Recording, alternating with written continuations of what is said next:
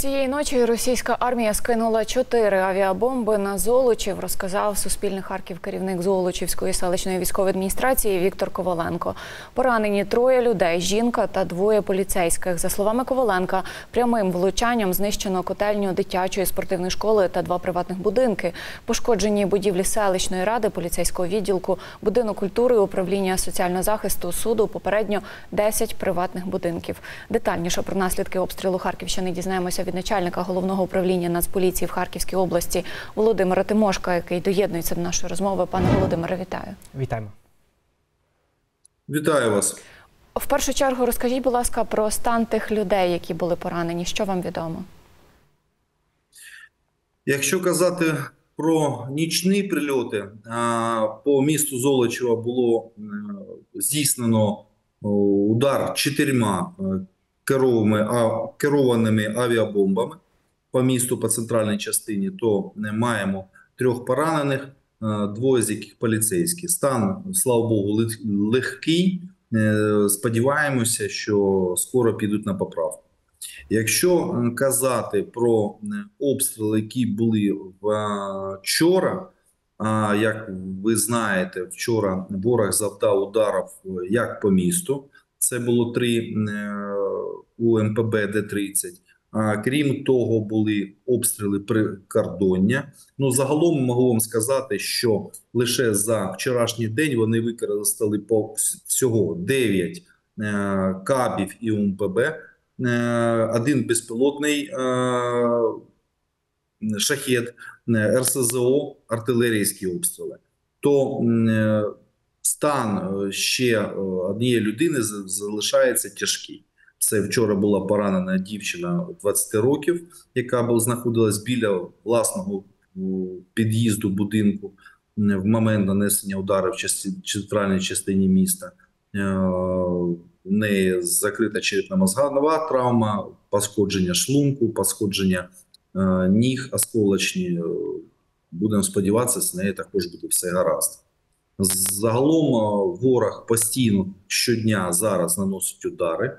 І сьогодні з самого ранку ми фіксуємо наявність е, БПЛА розвідників над е, прикордонною частиною області, також і над містом.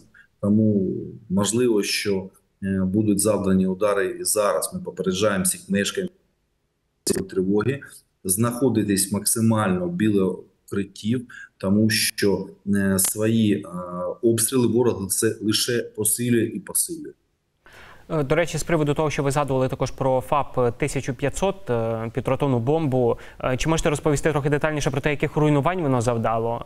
І наскільки я розумію, там загинула жінка через цей обстріл. Так, ми перший раз зафіксували е, застосування ворогам цього виду озброєння. Це не значить, що вони не могли його застосовувати раніше, тому що у нас є ділянки місцевості, е, які ми відносимо до окупованих, які окуповані на теперішній час. Є ділянки місцевості, на які ведуться активні бойові дії, і тому, е, скажімо так, ми не гарантуємо, що раніше вони його не застосовували. Однак нами зафіксовано саме в процесуальному плані е, перше застосування. Е, Тисячу, е, півтора тонни 1500 кілограмової бомби, яка дійсно була застосована в Куп'янському районі. Від удару е, було пошкоджена значна кількість приватних будинків. Удар прийшовся саме по приватному сектору. Дійсно загинула цивільна особа. Місце, коли влучила ця е, бомба, це є сугубо цивільна інфраструктура. Жодної військової інфраструктури в тому місці, куди вона влучена, немає взагалі. Руйнівні наслідки, руйнівні наслідки майже для всього мікрорайону, скажімо так. Якщо ви уявляєте собі е, в приватному сексі, се- се- е, приватному секторі мікрорайон, от е, все, що знаходиться в мікрорайоні, було майже знищено по фундаменту. Пане Володимире, щойно бачили якраз фотографії. То йдеться про те, що це була одна авіабомба, і вона одна завдала такі наслідки. Так, саме так. Ви правильно все показали, і такі саме наслідки вона завдає. Ця бомба. Ну в, кабі, які вони застосовують уже зазвичай, до якого ми звикли, це 250 переважно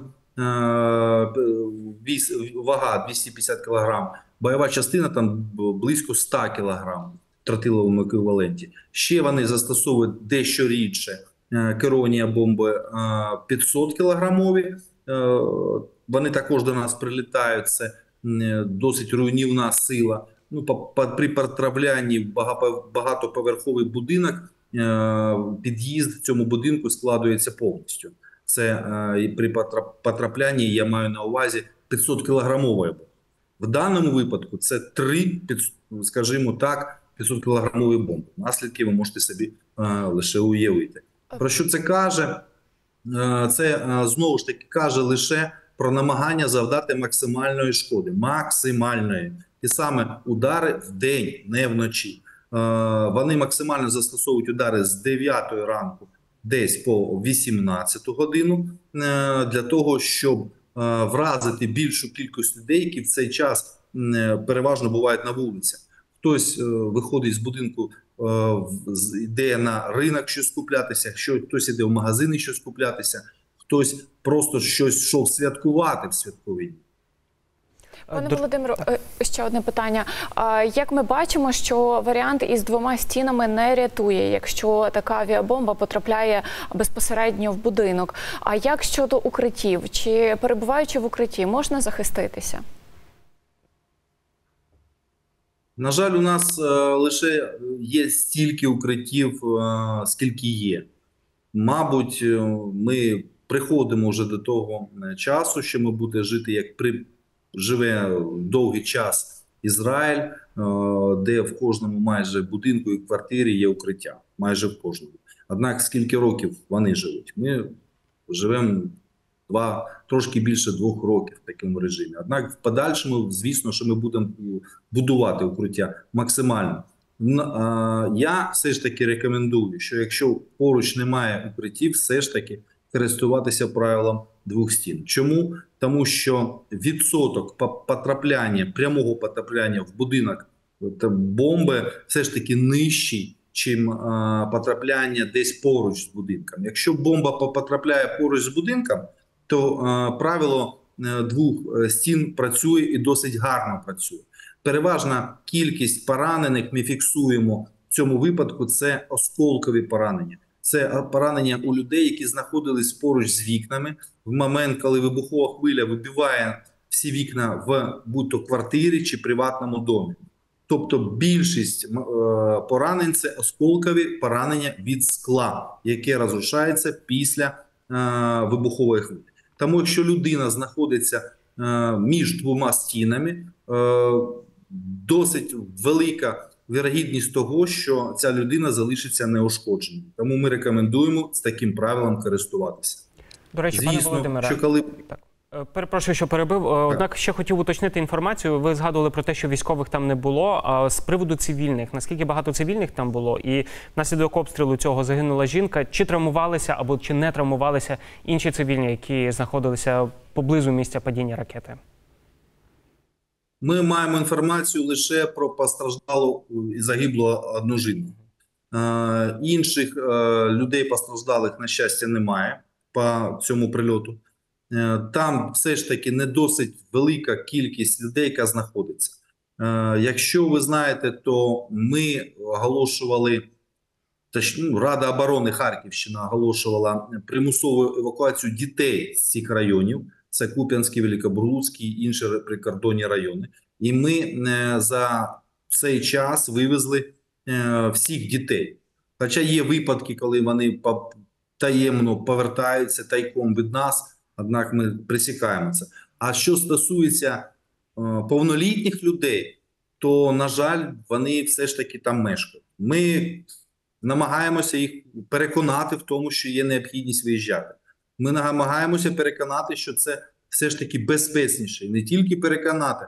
Е, Досить значну роботу проводить обласна військова адміністрація, яка надає житло для цих людей. Е, Транспорт ми надаємо для цих людей. Тільки виїжджайте. Від вас тільки одно виїжджайте. Ну, на, на жаль, залишаються. Е, Ми силою вивести їх не маємо права і не можемо цього робити, бо це буде порушення конституційних прав людей, вони роблять свій вибір. Однак, все ж таки, незважаючи на те, що вони там перебувають і вони зробили той вибір, який зробили, поліція надає їм допомогу. Тобто, це не значить, що поліція не буде їм допомагати. Ми все ж таки допомагаємо їм. Ми привозимо їжу, ми привозимо гуманітарку, допомагаємо е, придбати в разі необхідності ліки. Е, тобто з ними працюємо. У нас є села, в яких е, мешкає один е, чоловік. Ну, от, таких сел не одно і не два. Тобто до повномасштабного вторгнення там мешкало більше тисячі мешканців. Зараз там же мешкає одна людина або дві, або три. І це е, села знаходяться прямо на лінії вогню. І ми постійно кажемо, чому не виїжджають? От я помру там, де я народився, чи я помру там, де я жив. Так, і в такій Такі ситуації однозначно треба потурбуватися про свою безпеку. Пане Володимире, дуже дякуємо за цю інформацію. Дякую. Будемо стежити за оновленнями з приводу того, що відбувається зараз на Харківщині. Володимир Тимошко, начальник головного управління Нацполіції в Харківській області, був з нами на прямому зв'язку.